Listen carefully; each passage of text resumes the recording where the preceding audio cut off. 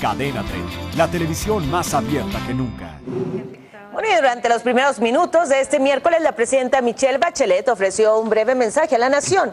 Ahí declaró zona de catástrofe en las regiones de Tarapacá y de Arica, así como en Paricota. Aprovechó para firmar los decretos de emergencia que permitirán a las diferentes dependencias de su gobierno brindar auxilio a la población afectada. Además, anunció que viajará al norte del país para conocer el estado en que quedó la zona devastada, mientras que en el centro de alerta de tsunamis del Pacífico de Estados Unidos, se canceló la alerta justamente de tsunami que además de Chile había sido emitida para Perú, Ecuador, Colombia, Panamá, también para Costa Rica, Nicaragua, El Salvador, Honduras, Guatemala y México.